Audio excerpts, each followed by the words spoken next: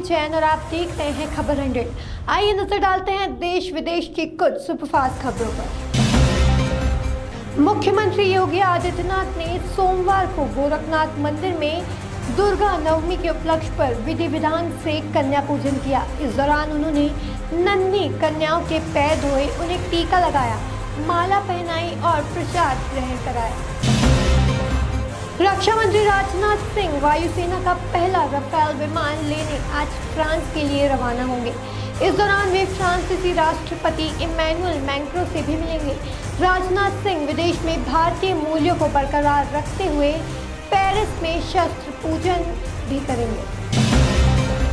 शिवसेना के अध्यक्ष उद्धव ठाकरे ने सोमवार को कहा कि उनका बेटा बेशक चुनाव लड़ रहा है, लेकिन इसका मतलब यह नहीं कि वह सेवानिवृत्त हो रहे हैं। उन्होंने इस बात पर विश्वास जताया कि एक दिन शिव सैनिक महाराष्ट्र का मुख्यमंत्री ज़रूर बनेगा।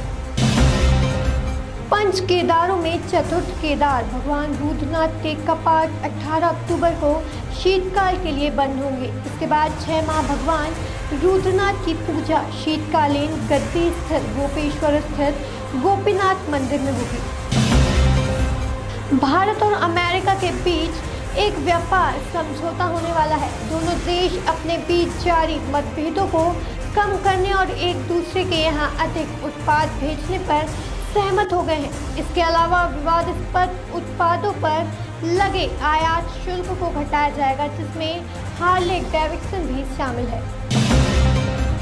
भाजपा के कार्यकारी अध्यक्ष जेपी नड्डा आज हिमाचल प्रदेश के बिलासपुर में जनसभा को संबोधित करेंगे। साथ ही हरियाणा का चुनावी रण फतह करने के लिए भाजपा अपने सबसे बड़े महारथी पीएम नरेंद्र मोदी को मैदान में उतारने जा रही है।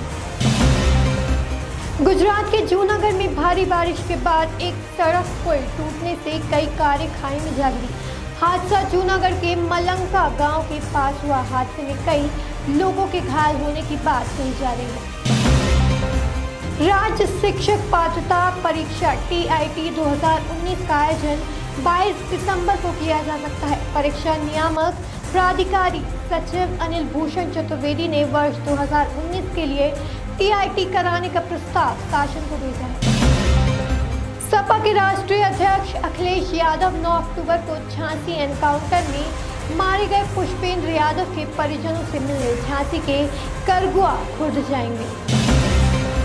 यूपी के उन्नाव के माखी थाना क्षेत्र के पूरा निस्पांसरी गाँव में सोमवार सुबह कन्या भोज के दौरान किराने की दुकान में भीषण आग लग गई।